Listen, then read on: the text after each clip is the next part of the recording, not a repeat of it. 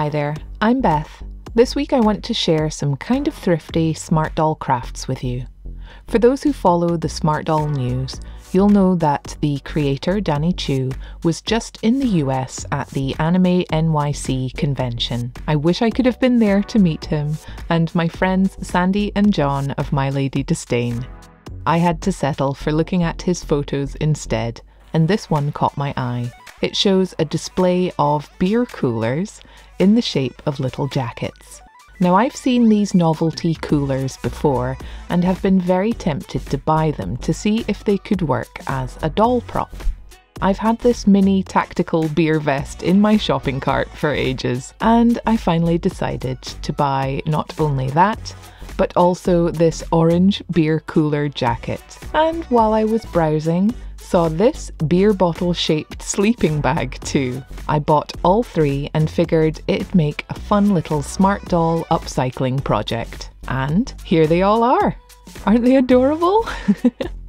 Let's start with the obvious. The sleeping bag was never going to fit a smart doll inside it. But with all these cute details and padded sections, I figured it could be rolled up and added onto a backpack as a convincing camping prop. But I do have lots of other dolls that might fit this, so let's try a couple out. Here's a Middie sized Blythe doll. She had a pretty big head, but looks the right size. Take off her hat. Hmm, not quite. The narrow shape at the top here looks wrong, but she is cozy in there. Here's Licca Chan. She's got the same body size as a Neo Blythe, but a smaller head, more like a Barbie doll. Hey, that's pretty good. Her head fits up and into the top part. Nice. Well, if you want to take Licca Chan out camping, here's a sleeping bag for her, ready made. Anyway, for my Beyond Haru here, I'll add on a couple of straps to attach the rolled up sleeping bag to a backpack and see if that works out. There's the jacket shaped cooler. It'll need some alterations to get it to be a functioning smart doll jacket, but I have high hopes it'll work. It has a functioning zip and a foiled lining. There's no interior holes for the sleeves, it's just a cylinder. The sleeves look like they're hollow though, and might work once the ends are unpicked from these pockets. The bottom is round and just needs unpicking too. Hmm, yeah, it looks like it might fit. And here's the tactical vest. This one looks like it'll be the easiest. It's all held together with velcro and straps. These bits can come right off, and the shoulders and sides look like they'll be fairly adjustable. Let's see if it'll fit her. I've removed the sequoia jacket that I made for her, sewing tutorial here. And I'll just try to wrap the two halves together, keeping the velcro away from her hair, get the shoulders evenly spaced, and then close in the sides. Haru here has the default bust, I figure it'll fit this or an even smaller bust the best, since it's made up of flat shapes. But yeah, I'm convinced. What do you think? This could have been made for Smart Doll. If you had more props, you could add Velcro lettering or clip things to the straps too. I'll keep these aside for the sleeping bag straps later. I think this is a great ready-made addition to a military themed outfit. Let's see if the jacket still fits. Yeah, I think she looks pretty good. Definitely a thumbs up from me. I'm moving on to the sleeping bag now, and I've looked out a few different widths of woven tape, something like a heavy ribbon. I think I'll reuse these two pieces from the vest and will run the straps through them. I'll go for this wider strapping since I have plenty of it. Here I've looked out some small D-rings too. I'll use them to hang the bag from the backpack. I want to shout out my friends Enchanterium and their awesome smart doll patterns. I've tested out a couple of patterns for them and really enjoyed making this cute backpack. Link is in the description to try it yourself. When I made some alterations to my second bag here, I made the shoulder straps wider and added buckles to them too. This will now allow me to open them up and slip on the D-rings. I think I'll fold in the long edges of this strapping to fit the D-rings better and will then sew on Velcro to enable it to close into a loop. Here, hopefully you can see that, and next I'll add the Velcro.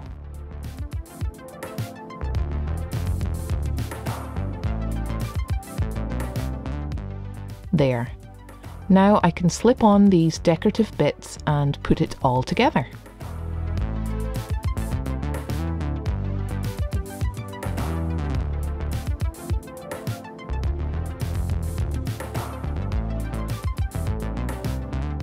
I do really want to design and make a bigger backpack sometime, like a proper camping backpack. If you already have one like that for your smart dolls, you might be able to strap on the sleeping bag to it directly, maybe at the top. For now though, this works for Haru. She's the toughest of my smart dolls and is ready to camp out and defend herself if needed. There we go. Let's see it on her too. Oh yeah, it looks like it could be a full-sized sleeping bag to me. I think it fits really nicely. What do you think? Oh, how embarrassing. I showed Haru to my husband Craig and he pointed out that these uh, stab vests are supposed to be worn over the top of the jacket, not underneath.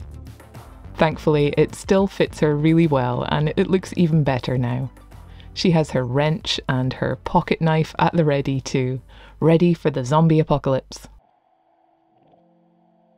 Well, she's looking great, but I have one more upcycling project to take on today this mini jacket beer cooler. I'll need the seam ripper for this, but need to find out where to start from.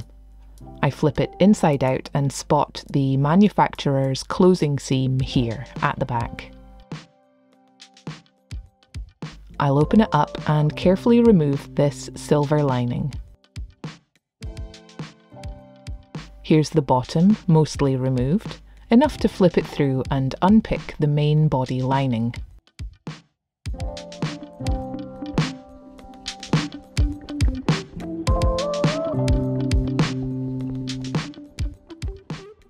Here they are. I'll keep the body lining piece to use as a template for a cotton lining later on.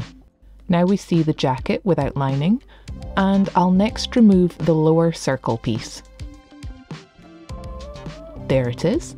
And looking at the zip, it's not going to be long enough once a new trim is added, so I'll be removing it. I'll also unpick the sleeves from the pockets, so we can see if an arm will fit in here. Here's my zip, and the sleeves are loose. They're in a permanent banana shape now, of course. I'll have to sew these pocket flaps back down too, but it's looking promising. Let's try it on. Here's North volunteering to try it on for now, and I can see a few issues. With her hands removed, I was able to get the sleeves on, but they're not long enough. They'll definitely need to be extended. And North is sporting the medium smooth bust, which is too big for this jacket to close. So I'll use a different model next time. It's pretty close though. So next I'll add some new cuffs and a lower hem and see how it looks then. Oh, I did think maybe you could reuse some of the fabric from this bottom piece, but not this time. I want to try adding some knit rib to the sleeves and hem. I considered these different fabrics from pre-worn clothing, but opted for this new green knit rib that I bought in Berlin. I think it'll look good with the bright orange. Here you see I've unpicked a little more of the sleeve, the underside, so the sleeve will open out enough for me to get the extension in there. I've cut two pieces, around 8 by 20 centimetres, folded in half to be 10 centimetres long, but I think that's probably too wide. Here I'm aligning the raw edges together, right sides in, and will sew on the extension just like a regular cuff. Here it's sewn and I was right, it's too wide. I'll cut off the excess, no problem. I think 6 centimetres might have been enough. I'll flip it out and sew up the side seam to close the sleeve. I'll turn it out the right way now.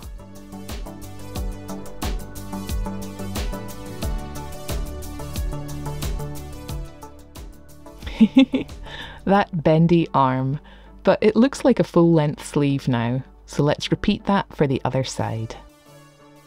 There we go, and now I'll sew on a long narrow piece of the knit rib to the bottom hem.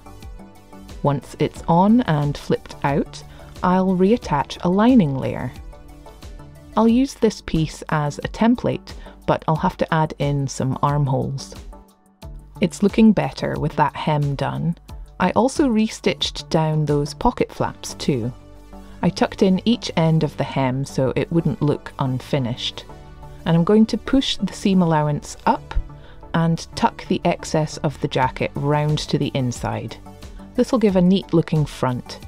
Then I can add on this new zip. It's a fully opening zip at the bottom too.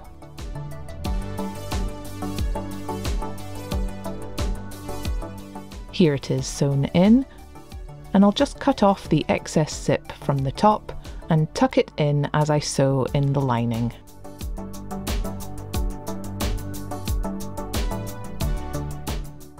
Here's how I'm tackling the lining, keeping it really simple and just cutting a slit with V's at each end to be folded out and top stitched.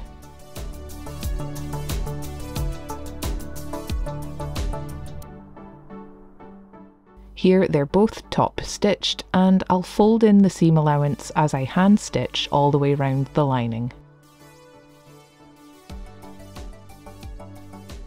While I sew, let me say thank you to my patrons.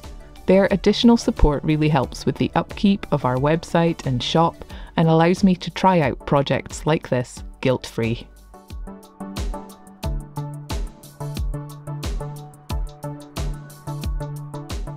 There we go. The lining fits nicely and it looks like a proper little jacket. Yeah, it's boxy and the sleeves are like bananas, but let's see how it looks on.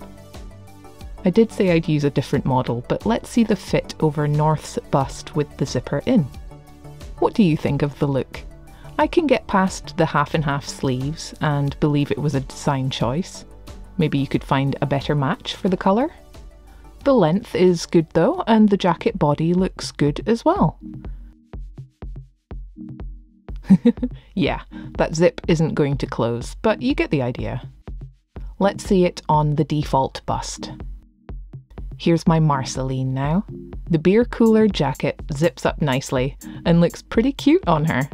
We can see a bit of tummy. She's wearing jeans that I made from the free CJ trousers pattern. I'm really pleased with this for an adapted novelty beer cooler. Oh, and I guess I have one more upcycle to mention. Her hat is simply made from the cuff end of a one pound pair of socks. I cut it long to allow the edge to be flipped up and hand stitched a running stitch around the cut end.